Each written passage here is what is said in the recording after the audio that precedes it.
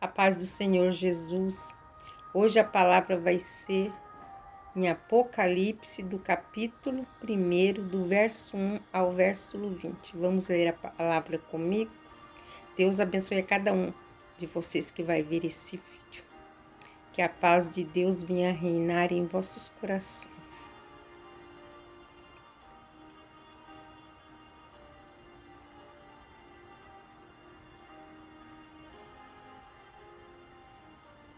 Revelação de Jesus Cristo, a qual Deus lhe deu para mostrar a seus servos as coisas que em brevemente devem acontecer, e pelo seu anjo os enviou e as notificou a João, seu servo, o qual testificou da palavra de Deus e do testemunho de Jesus Cristo e de tudo que tem visto.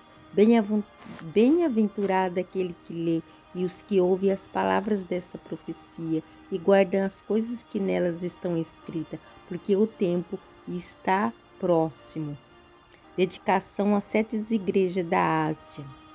João, as sete igrejas que estão na Ásia, graça e paz seja convosco da parte daquele que é e que há de vir, e da dos sete espíritos que estão diante do seu trono e da parte de Jesus Cristo, que é a fiel testemunha, o primogênito dos mortos e o príncipe dos reis da terra, aquele que nos ama e que o seu sangue nos lavou dos nossos pecados e nos fez reis e sacerdotes para Deus e seu Pai, a ele glória e poder para todos sempre. Amém. Esse que vem com as nuvens e todo olho verá, até mesmo os que o transpassaram e todas as tribos da terra se lamentarão sobre ele. Sim, eu sou o Álfaga, o Ômega, o princípio e o fim, diz o Senhor, que é, que era e o que há de vir, o Todo-Poderoso.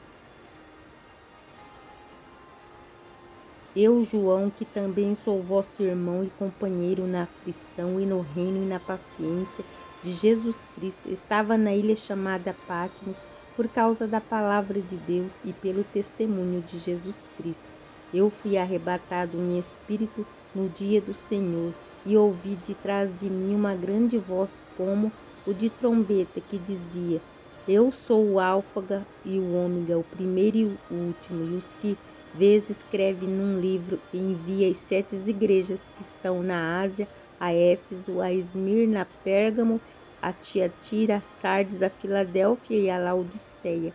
Eu virei-me para ver quem falava comigo, e virando-me vi sete castiçais de ouro, e no meio dos sete castiçais um semelhante ao filho do homem, vestido até os pés de uma veste comprida e cingida pelo peito como um cinto de ouro, e a sua cabeça e cabelos eram brancos como lã branca, como a neve, e os olhos como chama de fogo os seus pés semelhantes ao latão reluzente, como se tivesse sido refinados numa fornalha, e a sua voz era como a voz de muitas águas. E ele tinha na sua destra sete estrelas, e da sua boca saía uma aguda espada de dois fios, e o seu rosto era como o sol, quando na sua força resplandece. E eu, quando ouvi, caí a seus pés como morto, e ele pôs sobre mim a sua destra, dizendo: Não temas, eu sou o primeiro e também sou o último. E fui eu que vive, que vivi e fui morto, mas eis aqui estou vivo para todo sempre. Amém.